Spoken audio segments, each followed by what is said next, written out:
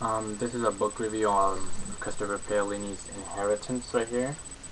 So I'm gonna give my thoughts. This is this is not a technical in, in review. It's just what I think of it, and um, it does have spoilers, so I would not recommend you watching it further if you don't want any spoilers. Um, I think this is the first review of the book on YouTube. At least that's what I think. I'm not sure. I did not check. If not, then whatever.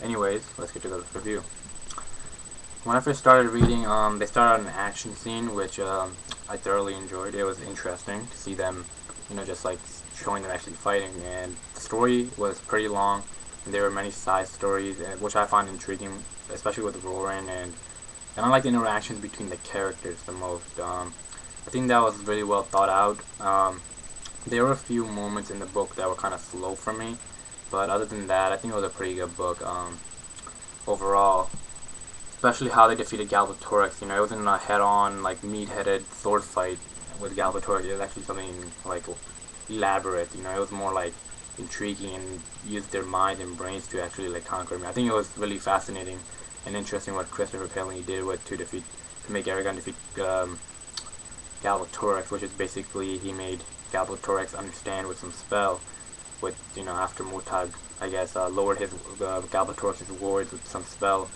um, using the name of the ancient language. So, yeah.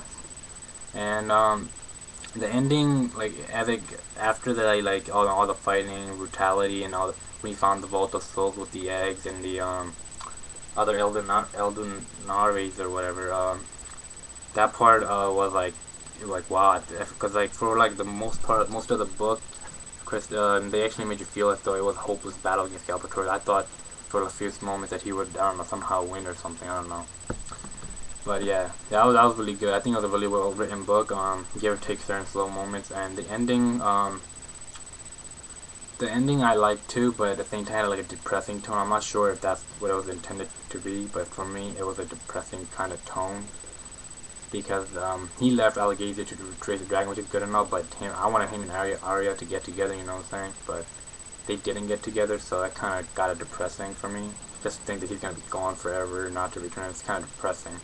At least from my perspective. My perspective, I like I'm I like those cliche endings with you know, the hero and the heroine, you know, getting married and stuff.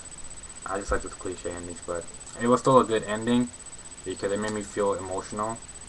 So that tells you that's a good that's good writing. So it doesn't matter whether it's a negative comment I make on the ending or not. The point is it was good.